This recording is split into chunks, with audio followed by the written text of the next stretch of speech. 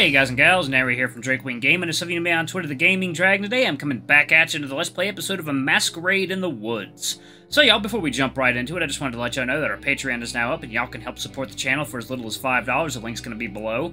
If y'all support the channel, y'all will get exclusive access to our community, permanent exclusive access to our community Discord server, and our future upcoming not safe for work videos which will be exclusively uploaded to our discord to our discord server and our patreon anyway y'all let's go ahead and jump right back in. Alarm chain you were up. And let's go. Alrighty. He specifically requested an equine. Hanson doesn't answer. He sighs leaning back in the chair while the hyena scribbles in his book. What happened to the ceiling? The wolf looks up with a confused expression. The prince lifts his pen, pointing towards the recent hole in the planks. It collapsed, I guess. I don't know. It was like that when I got here. Let's move on to last night. When would you say you first received word of the task? When you called? Yes, Mr. Hanson, and when did you say would you say that was? The wolf gives the hyena a confused look. The prince, in response, simply observes Hanson calmly. I don't know, evening? Eight or something? The hyena marks it in his book. And what happened after that? I got my toolkit and headed out. Started on the. Mr. Hanson, I must remind you, as much detail as you can. The wolf huffs, annoyed. Leaning back, he shakes his head as if to rattle his memory. Ash. Ash? Yeah, there was ash in the air. Was there a fire? It was raining all night. I got to the house, started with replacing the lock like you asked. And the police tape? Replaced it. And the little sticker. The prince nodded, nods approvingly. And inside? The wolf lifts his paw to scratch his chest again. Fucking mess like usual. No, what did you do inside? He shrugs. Got in through the back door, closed the cellar hatch, took care of the body. Or what was left of it. Uh, Mr. Falk's? No, the one in the kitchen. There was a corpse in the kitchen? Mm-hmm. And what did you do with it? Wrapped it in a tarp and stuffed it in the freeze box. Oh, shit. Head didn't, the head don't fit, so I had to toss it in the fridge. And what species was this? Don't remember. The prince looks up, silently pressing him for details. Cat or something. Was laying naked up there, but most of the fur was gone. Can you recall the gender? It's hard to tell after whatever George had done to it. Jesus Christ. Right, I see. And then? And these three... These three guns arrived. oh my god. Yeah, this is a fucked up game. Really fucked up game. Holy shit, this is a fucked up game. Fucking pieces of shit. Hanson cuts himself off as the floor begins creaking once more. Two men descend the stairs, talking among themselves, their white shirts almost glowing in the dark. And so do their badges. Hanson turns towards them, but not but not the prince. Upstairs clear, Mr. Prince, but we found blood. Lahina raises his pen, eyes on his notes. Don't you knock. The weasel's thick tail slowly falls to the floor. Please, if you would be so kind as to wait upstairs. The two officers look at each other before shrugging and making their way back up the stairs. I do apologize. I specifically told them to not disturb. You brought the fucking pigs? The wolf growls in a low voice. Not to worry, Mr. Hanson. They have been informed of the situation. They're merely here to provide security. We want you feeling safe here. Are you fucking... A cigarette? The wolf looks down at the hyena's paw in confusion, holding a pack of smokes. Nevertheless, he grabs one. The prince holds out a silver lighter, the clink of the metal cover echoing through the room as the sparks ignite the flame. Three people arrived, he said.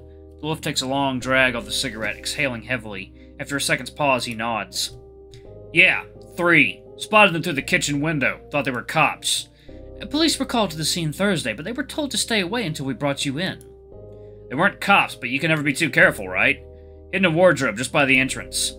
You didn't leave? Didn't have my meth yet. I see. Could you describe the three strangers? The wolf takes another drag of his smoke, flicking it to let the ash fall off the side. Two short and one tall. Second, y'all. It is. Oh, let me go to the next screen. Oh, wait. there we go. Okay. All right. Uh, details, Mr. Hanson. The wolf leans forward, laying one arm on the table and scratching his head with the other. Tall one. Tall one was a dog. Age? I don't know. It's hard to see in the dark. Probably mid 20s. Dark clothes, cream fur. Green mask. Yeah, think so. The prince's pen quickly moves across the page, murmuring under his breath. The giant. And there was a rat. Short, skinny, fat tail. Hyena stops again, looking back over his notes with a confused expression. A rat? You look like a fucking rat to me. Said something about marsh, marsh, marts. Marsupial. The wolf points with his cigarette. Yeah, that. Blue mask. Yeah. The prince's writing continues. Last one. Last one had a pink mask. The rabbit. No. Raccoon. The hyena stops, slowly raising his eyes to the wolf before placing his notebook down on the table and folding his legs and leaning forward. For a split second, Hansen's eyes meet mine. Oh my. Hmm. And I feel more exposed than I've ever felt in my life. My heart rate picks up, and a new wave of anxiety washes over me, coursing through my veins. I quietly readjust myself a paw over my mouth so that I can peek around the barrel. Pain shoots through my left shoulder, all the way down my arm as I move. Are you certain? I was holding a gun against his skull at that point. I know what a fucking rabbit smells like. Sure as fuck wasn't a rabbit. What did he look like? Like a raccoon, I guess. Any distinguishing features? Hanson's gaze drifts back towards me as he scratches his chin. Smelled like cinnamon. The hyena shakes his head. No, Mr. Hansen. Scars, piercings, eye color. Purple eyes. No, he couldn't have seen my eyes yesterday. And then, you let them go. Wolf exhales a trail of smoke through the side of his muzzle, swaying his head in disagreement. No! Piece of shit tased me in the nuts and that fucking mutt broke my nose. Woke up way after they left with this. His paws moves up to pull his shirt to his side, revealing a crude tattoo shape on his shaved chest. Fascinating.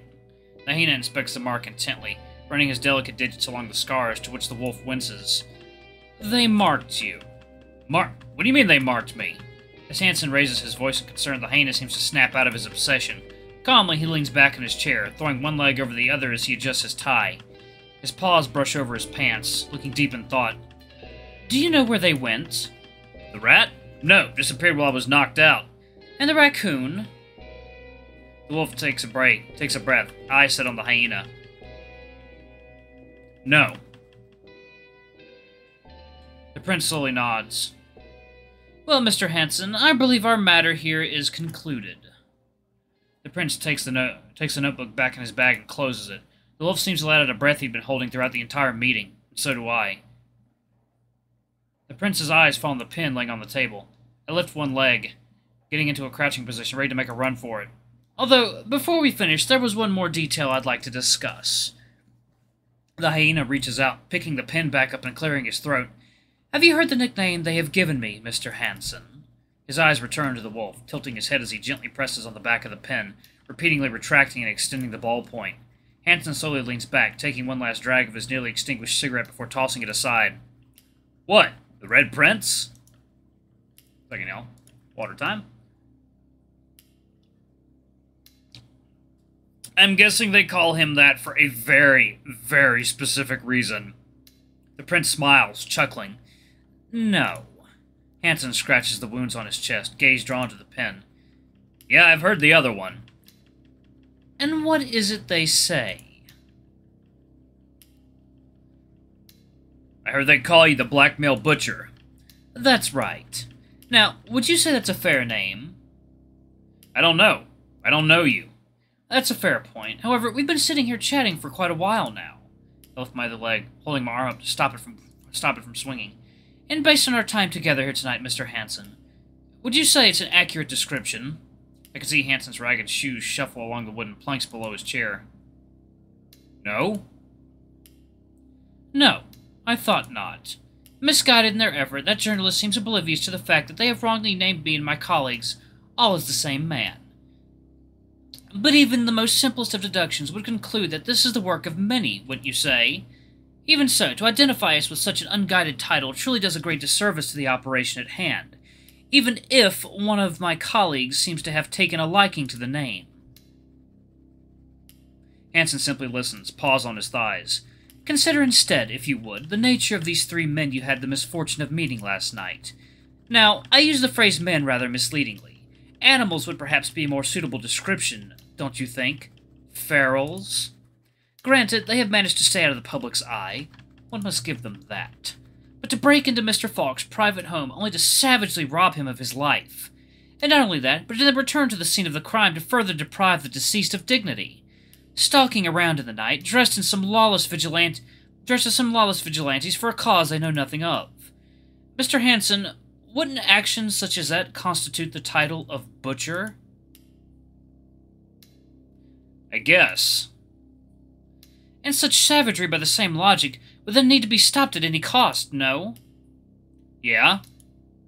And you understand, of course, that any information that would lead to the capture of these beasts is one of the utmost importance to us. Yes. And you're aware that any such information, even if previously withheld, would not be would not be met with disciplinary action, but with handsome compensation. The wolf's eyes meet mine again, but this time they don't look away. Yes.